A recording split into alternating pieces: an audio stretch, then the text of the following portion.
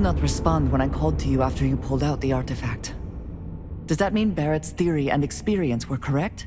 The artifact grants the first person who touches it a vision?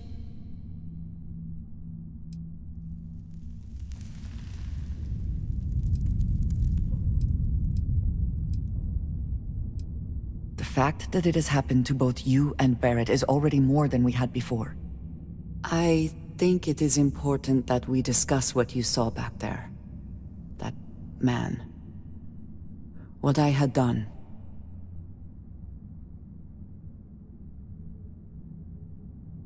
It was, yes. I appreciate that you see it that way.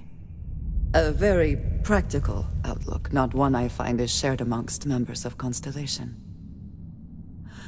May I ask what your background is? Argos. I have heard of this company. Small, reckless.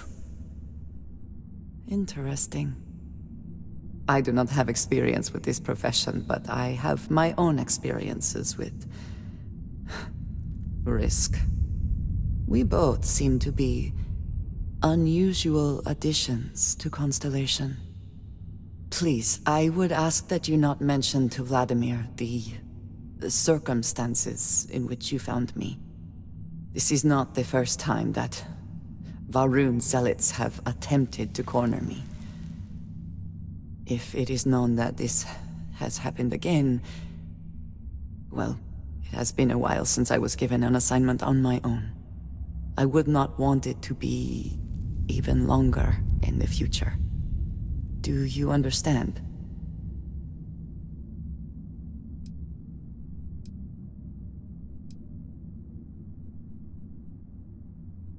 Yes, it would seem they have not yet learned how much it will cost them. But then that is their fundamental problem, is it not? An inability to see anything other than the path which they have created for themselves.